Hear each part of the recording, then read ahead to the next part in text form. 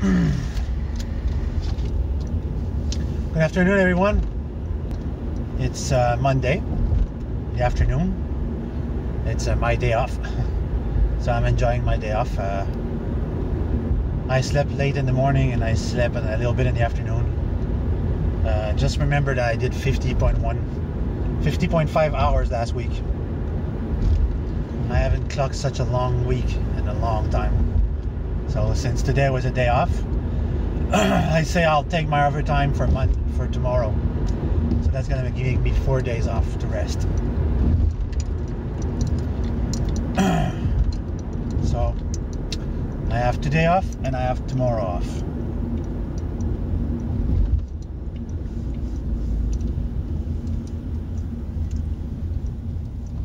As it comes to time travel, I think that uh, if I make the project, I'm gonna use a, a hard drive motor to spin the thing I need to spin, because the the hard drive motor spins to a very high rate of RPM, and uh, sorry, I just came from eating some KFC. My throat is quite burned by the salt, and I took like a huge amount of salt. All this rattling you're feeling right now or hearing that's the road where I'm driving. It's fucking like that every fucking where. Jesus Christ.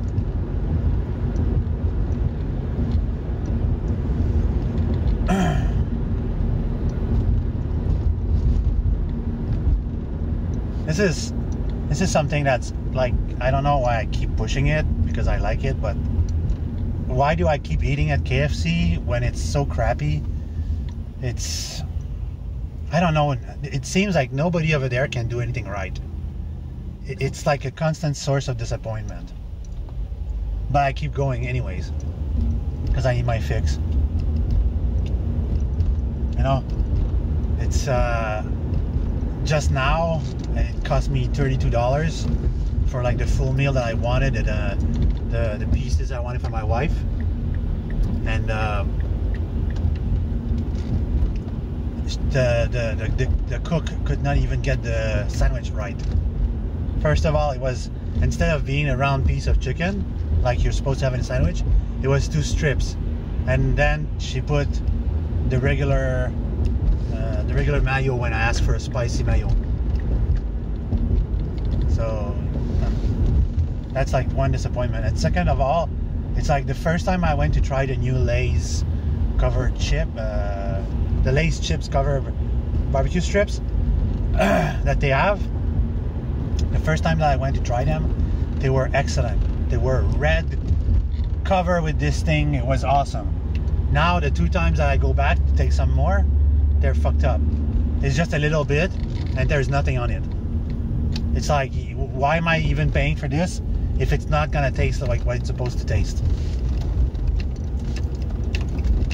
So this uh, there's many I actually want to blame someone and it's a multifaceted blame.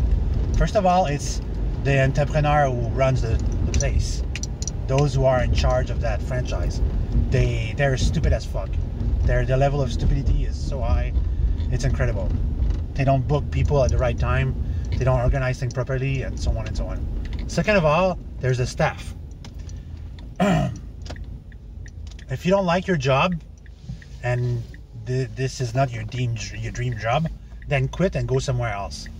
If you're going to work in the food industry, try to do the best of it. Try to do the best job ever, because you're bringing food to people.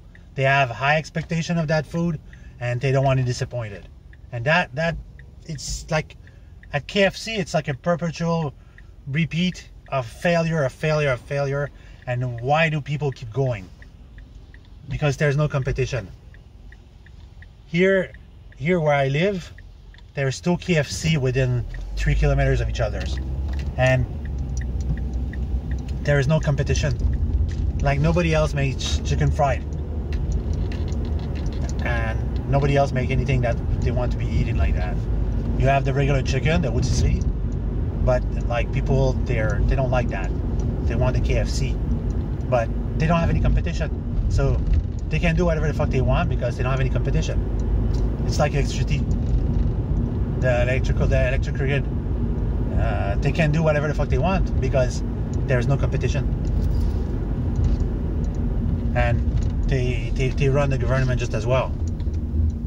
It's, I'm telling you, the only place where I go to eat and I'm not disappointed at all is another another chicken place restaurant.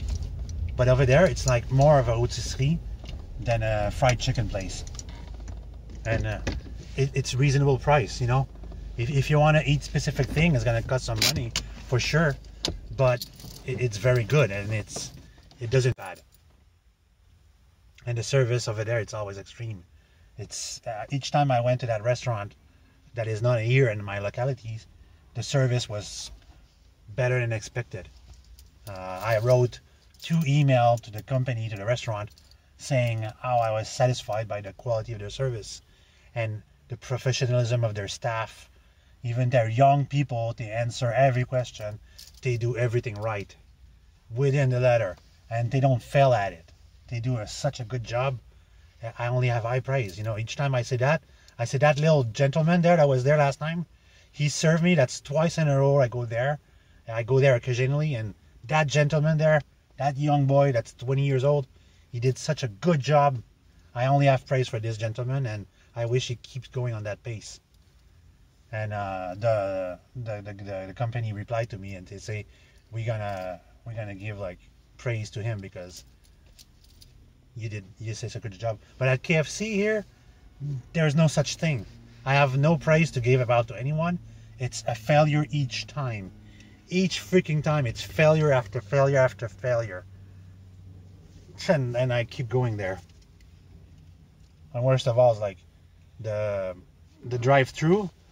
The drive through's been closed for almost four months now because of, uh, of a software issue. It's like how bad can that be? Fix the goddamn software issue and reopen the drive through. Some people don't want to get in and wait in line. They want to go and eat in their car like I do. I like to spend time with my car. I like to spend time with my trucks. I like to spend time on my car. It's my favorite place to be. I like to be inside my rig. this is like when I go to Harvey's. Uh, when I go to Harvey's, over there, there's a girl that takes my order. She doesn't make any mistake. And then she passes it on to the person that's going to put the spreads and the foods on the on your hamburgers, prepare it and each time it's always good. I'm not disappointed. It's done properly and she do everything I ask and they do it the proper way and no complaint. At Burger King, it's another difference. The Burger King locally here, the one that's uh, two miles from my home, they have uh, they're doing their best. I don't complain. But the one not far from work, oh my god, I've been there for two years. They haven't found anyone to work there. It's always short staff. And last time it took such a long time that my hamburger was all mushy and wet. It's like the whole point of that hamburger, it's that it has to be eating fresh. It's the the bagel hamburger from Burger King. The whole point of that hamburger is that when it's out of the oven, you put the the, the, the, the meat patty and everything, and then you give it to the customer right away. You don't wait 20 minutes to give it to the customer. It's gonna be mushy and disgusting. That's what it was. That was such a disappointment.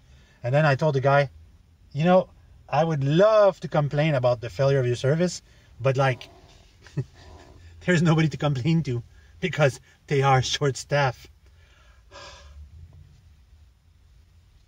People my age will understand what I'm saying, but the young people, they'll say like, "Oh, why do you complain so much?"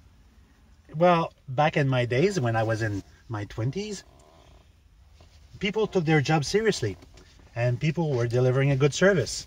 And people that work in the food industry, it was uh, high praise for them because you're working in the food industry. It's very important that you give the best service to your customer, that they want to come back.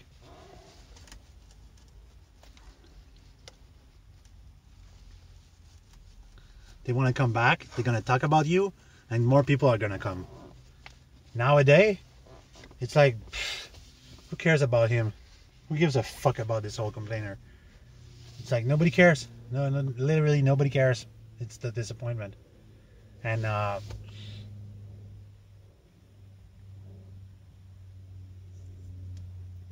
it's that's the sad reality of kids today's. They kids in their twenties and above, they, they don't take anything seriously. They don't take their job seriously. They don't understand what the work is all about.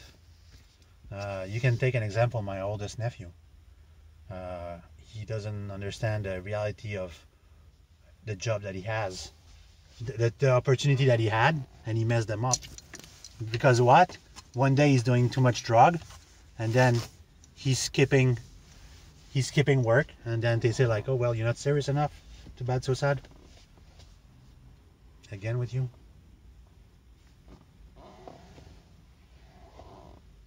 so that's what the disappointment is. And that's the entire generation that's like this. You know?